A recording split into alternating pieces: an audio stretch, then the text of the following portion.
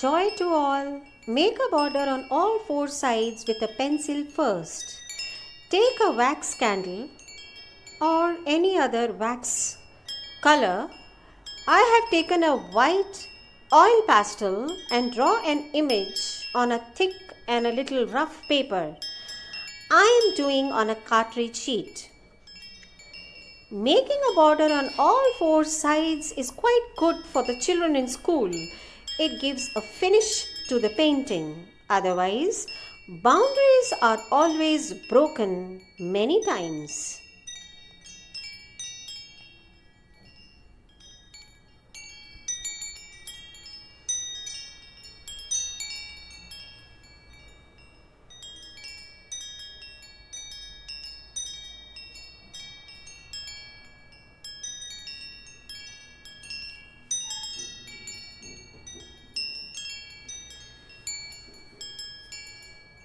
Now, take a thick flat synthetic brush and use that color which you specially want for your background.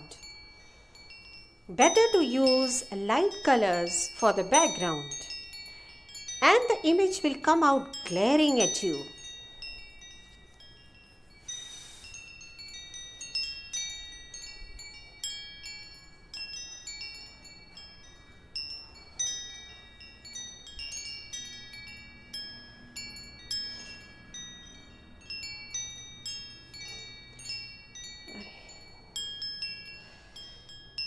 Better to use a thick paper for this purpose specially otherwise the paper will become quite wavy once you give this kind of a background. Then using colors of your choice start giving tones and shades giving layers to your satisfaction also to beautify it.